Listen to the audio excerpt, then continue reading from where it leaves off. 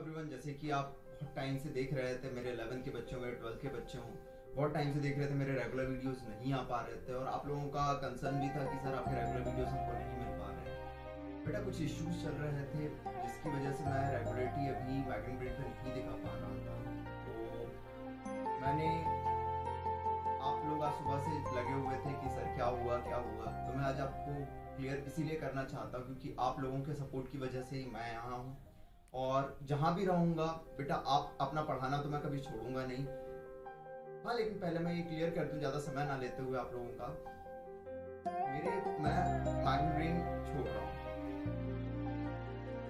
आप मेरे स्टूडेंट हैं, जिस जोश और जुनून के साथ हम पढ़ते रहे हैं, पढ़ाना तो मैं छोड़ूँगा नहीं, और जल्द कहीं और पढ़ाते हुए दिखूँगा आप लोगों को। आप लोगों ने इतना सपोर्ट बनाए रखा है। आई होप आप चीज़ें समझेंगे। और हम जैसे अभी हाथ पे कंटिन्यू करे हुए थे, बढ़ रहे थे लाइफ में, आपने टर्म एग्ज़ाम में फोड़ दिया, बहुत सारे बच्चों के पॉजिटिव कमेंट थे कि सर हमने टर्म एग्ज़ाम में ऐसा करा टर्म एग्ज़ाम में वैसा करा। द बेस्ट थिंग की टीचर को खुशी तब मिलती है जब उसका बच्चा बेस्ट से बेस्ट करता लेकिन एक टीचर के बाद एक ह्यूमन बीइंग भी होता है, जहाँ पे उसकी लाइफ में भी टीचर की लाइफ में भी कुछ पर्सनल इश्यूज़ चलते हैं। कुछ चीज़ें थी मैनेजमेंट बहुत बढ़िया मुझे सब कुछ वहाँ से बेस्ट था। लेकिन मेरी पर्सनल लाइफ में कुछ चीज़ें ठीक ना चल पाने की वजह से वहाँ आपको मेरे लेक्चर नहीं मिल पाएँगे। दूसरी चीज़ ये रही, आप लोग जहाँ भी हैं, पढ़ाई कर रहे हैं, अपना सपोर्ट बनाए रखें मेरे साथ। जहाँ बढ़ेंगे, जैसे बढ़ेंगे बेस्ट बेटा।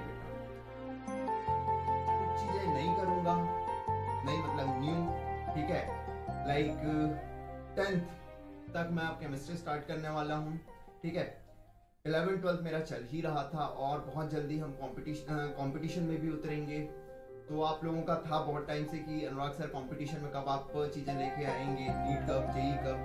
तो नीट मैं और बहुत जल्द आप देख लेंगे कि हम जो भी करेंगे, आप लोगों के बेस्ट करेंगे बच्चों। जो है, आप लोगों का सपोर्ट अपना बनाए रखें, ज़्यादा समय में बिल्कुल अभी भी नहीं लेना चाहूँगा आपको। और जैसे आज तक जोश और जुनून के साथ हम पढ़ते आए हैं, उसी जोश और जुनून के साथ हम आगे भी पढ़ते रहेंगे Thank you so